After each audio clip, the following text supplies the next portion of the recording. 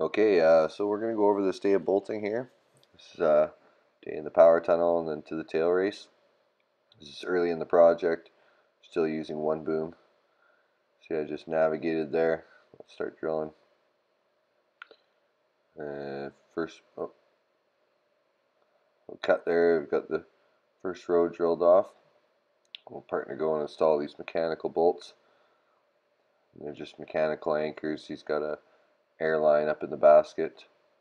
Uh, there's a compressor on the jumbo, so we don't have to hook up mine air.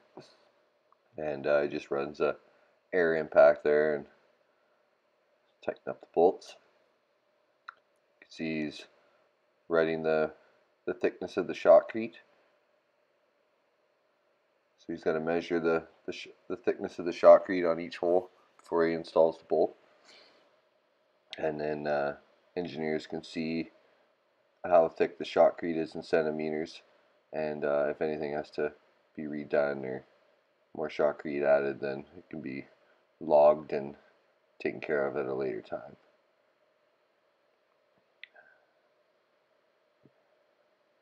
So we'll do the next row now. Usually like to eyeball where I'm going to line up. As I said, this is early in the project, so I didn't have everything as perfected. So I like to stick my boom up in the air, and I know that's as far out as I have to go.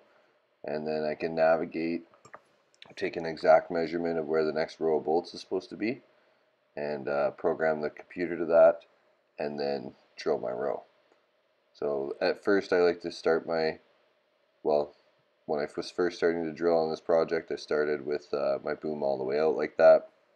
And then uh, I knew I had the maximum amount of reach and I could drill my rows and with the least amount of equipment movement.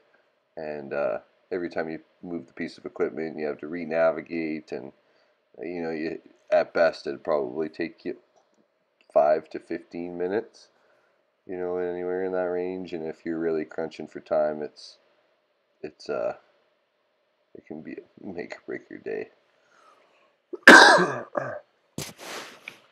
so you've seen some some of my other videos. I drill with two booms and uh, with a short steel, and uh, as you can kind of notice in this video, having the booms at full length, full steel, uh, there's not enough room all the time, and uh, having the shorter booms gives you a lot more versatility.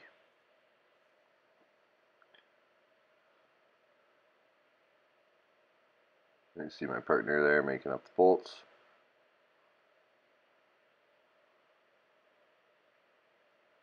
So I see he's installed all those bolts now. We're going to pull out of this heading. And uh, at the time we were doing a remuck, so we had to hang our cable up and over the remuck so the scoops and trucks could run while we were drilling and bolting. Just get my partner take down our own our own power cable. We don't have to have a zoom boom or you know a scissor truck coming behind us.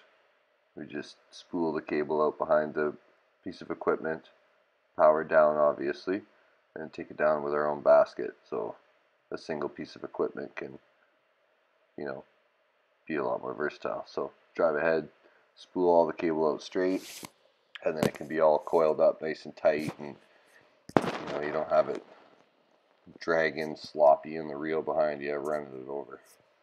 so we're going to tram out of here. You can see uh, we've got the the push and pull ventilation. So we're going to load up here with gear, load up with bolts for the next setting.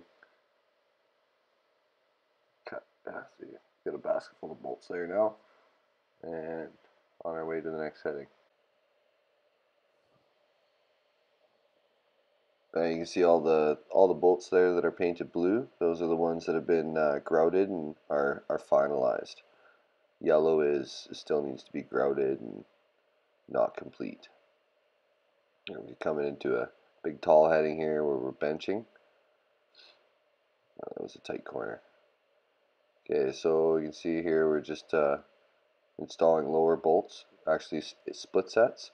So the engineers will come in and paint dots where they want their ground support installed and I just come in and drill holes on the dot and then uh, my partner will go into the basket and sometimes you can you can put the split set right on to the boom or you can place it into the hole and then uh, a different type of uh, hammer bit is installed on to the, the hammer part of the drill and it just inserts into the, the split set and it's a friction bolt.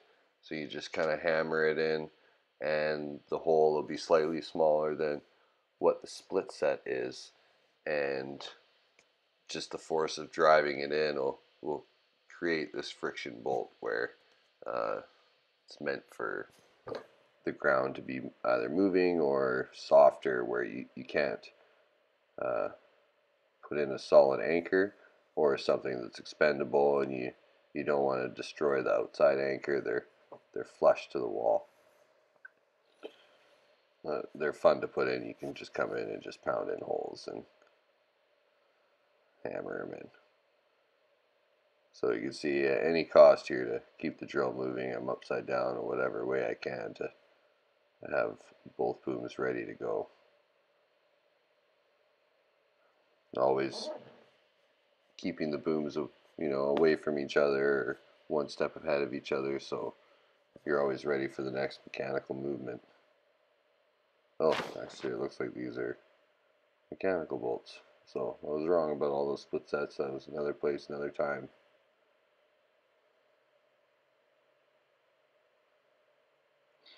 Still just spot bolting. just spot bolting mechanical bolts rather than a computerized program that I have to load and follow.